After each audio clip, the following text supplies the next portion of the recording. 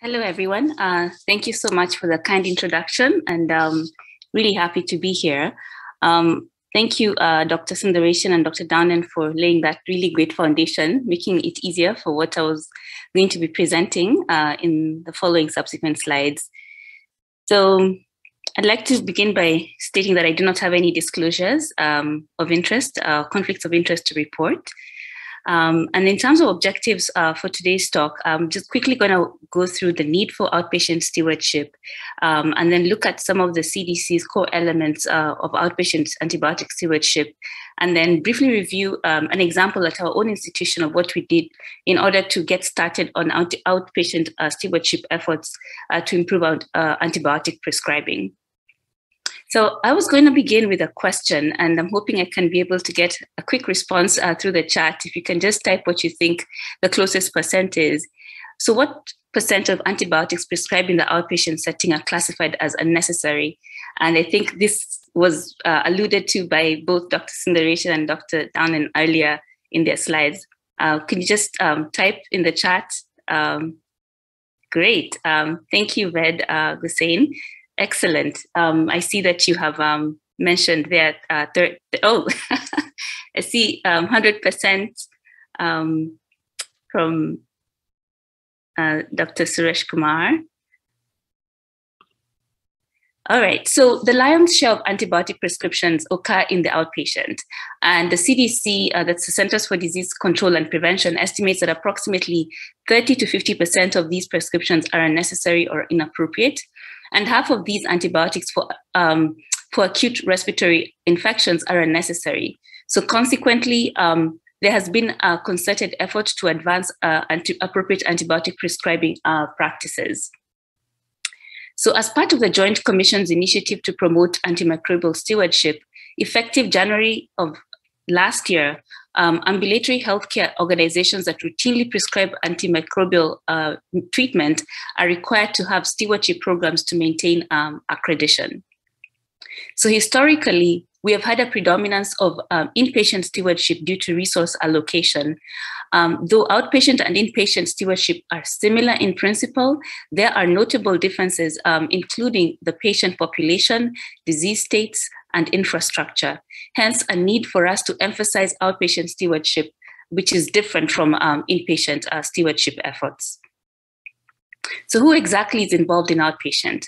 It's important to understand uh, while we have a homogeneity in the inpatient setting, uh, there are multiple audiences, um, including uh, primary care, uh, medical, surgical specialties, emergency departments, retail health clinics, urgent care settings, dental clinics, um, and also other healthcare professions, um, outpatient clinics, and healthcare systems that are, involved in, in this.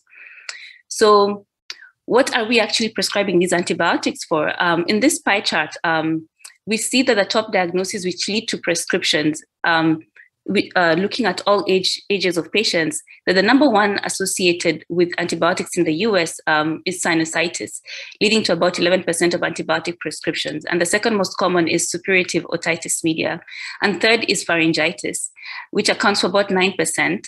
And of all antibiotic, uh, of, of these, actually, it's important to note that this is all cause pharyngitis, which also includes the possibility of viral pharyngitis. So when we look at this chart, there's actually multiple targets for reduction of antibiotic uh, prescribing, notably um, sinusitis, uh, viral URIs, um, bronchitis, and where we should not be having any antibiotic uh, prescribing. So it's important to just sort of emphasize that we do have high priority uh, conditions, either because there's overprescription going on or we have overdiagnosis. Um, uh, for example, like with uh, strep pharyngitis, uh, where we have a diagnosis without actually doing fulfilling the diagnostic criteria, which can lead to overprescribing um, of antibiotics. Or we can have conditions where um, a wrong agent dose or duration is selected. Um, for example, a prescription, prescription of azithromycin for an uncomplicated bacterial sinusitis, or there may be instances where watchful waiting or delayed prescribing is appropriate, um, but then antibiotics are prescribed uh, right away. Um, here's just an example of um, looking at the uh, uh, pediatric uh, ambulatory setting, where 21% of all ambulatory visits end up with an antibiotic prescription. And when we look at those uh, that are limited to um, acute respiratory tract infections, 72% um, of them actually end up getting an antibiotic. Yet we know that majority of these are due to uh, viruses, which is yet another opportunity. Um, and then when we look at um, acute bronchitis in adults, this is a, a, study that had been published by Barnett and Linder, um, we can see that still a very high proportion of patients still end up with an antibiotic prescrip- prescription, which really highlights a huge opportunity for us um, to intervene. So how exactly um, do we um, get involved in the outpatient setting and uh, begin to move the needle when it comes to inappropriate antibiotic prescribing? So on this slide, um, these are the four uh, core elements that have been given to us by the CDC, which provide a framework for improving antibiotic prescribing by outpatient clinicians and within facilities that routinely provide antibiotic prescriptions. So, first of all, we have commitment. This means that we need to demonstrate dedication to and accountability for optimizing antibiotic prescribing and patient safety. And every person who is involved in patient care directly or indirectly can act as an antimicrobial steward. So each clinician can make the choice to be an effective antibiotic steward um, during each patient encounter. And then I also just want to highlight that the clinic leaders uh, uh, leadership is really important, uh, where we need to identify, you know, a single leader um, who's and also include an antibiotic stewardship related uh, duties, um, which would help in being able to understand what the responsibilities are and uh, also in allotting time and resources to dedicated towards stewardship. And it would also be very important to communicate expectations uh, with all clinic staff members uh, with consistent uh, messaging.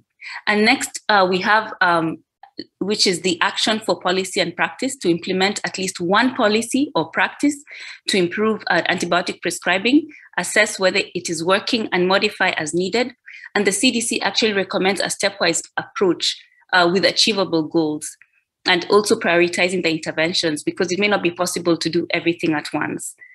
And um, clinicians are actually encouraged to um, have evidence based uh, criteria and treatment recommendations, um, including national guidelines and local clinical practice guidelines as well.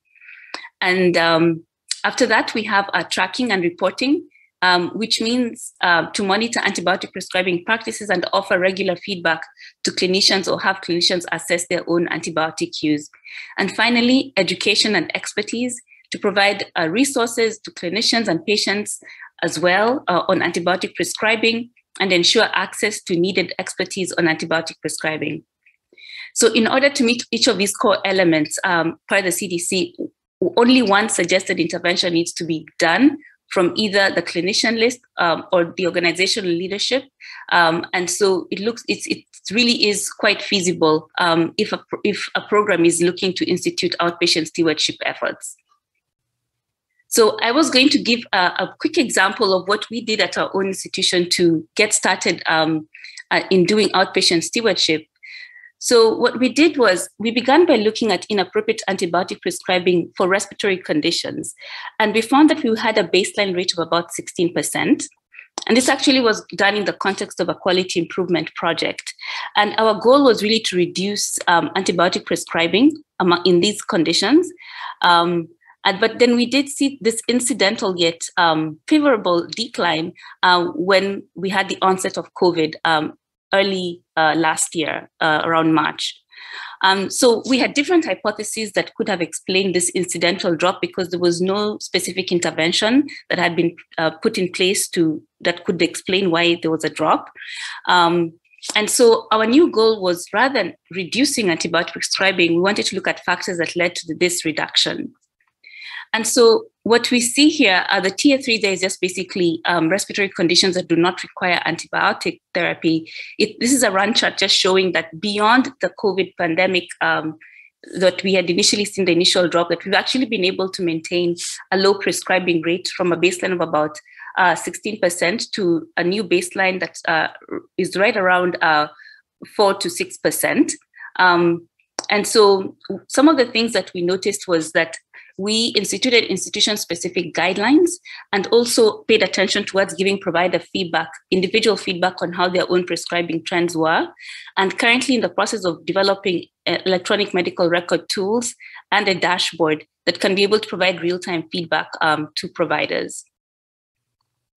Um, and just really quickly looking at the global front, um, it's important to note that um, you know the World Health Organization has really been leading uh, the response to antimicrobial resistance, and um, they uh, approved uh, in 2015 uh, the Global Action Plan on Antimicrobial Resistance, but at the 68th uh, World Health Assembly, and in 2019. Um, um, antimicrobial resistance uh, was actually named as one of the top 10 global public health threats uh, facing humanity and hence really making it a, a major priority for us.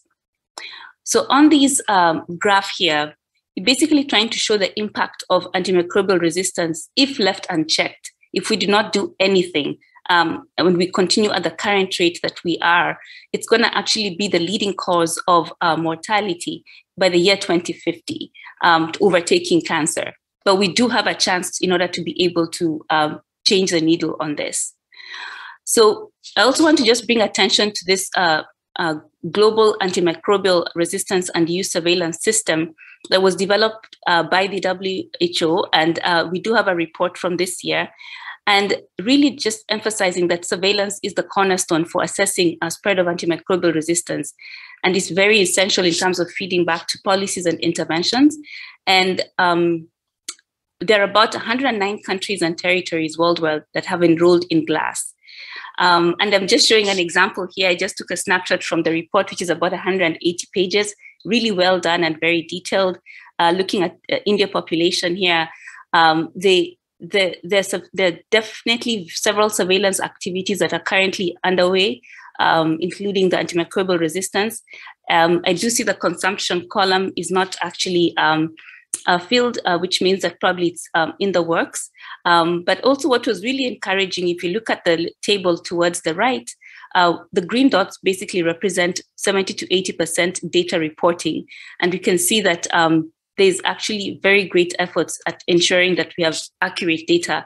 So it's through this data that we are able to then have uh, specific interventions um, to help with addressing antimicrobial resistance. So just to quickly highlight the global action plan um, that was uh, developed in 2015, uh, there are five major objectives which basically focus on improving awareness and understanding of a, antimicrobial resistance, strengthening the knowledge and evidence um, through surveillance and research, and also reducing the incidence of infection through effective sanitation and optimizing the use of antimicrobial medication um, through education, and also developing economic um, investments uh, that address uh, medic- medications, diagnostic tools, um, vaccines, and other interventions that would help towards fighting uh, antimicrobial resistance. Um, and also, what's really refreshing is that each of the members of the, the assembly stressed the importance of each country developing a national action plan. And, um, and the WHO actually provides a framework for this, and which is really looked at as the first initial step in terms of developing um, antimicrobial stewardship programs. And I'm happy to say that you know, India is indeed among um, the countries that have developed a national action plan to further develop um, antimicrobial stewardship and uh, limit um, antimicrobial resistance. Um, and just uh, to just really reemphasize the real importance of having uh, stewardship programs, um, because it's through these programs that we are able to ensure there's guideline directed therapy. And there have been studies to establish that there are really good outcomes when we do have the stewardship programs. Um, and also, uh, not just in terms of patient clinical outcomes, but also in terms of cost, cost effectiveness and um, really ensuring streamlining of uh, practices.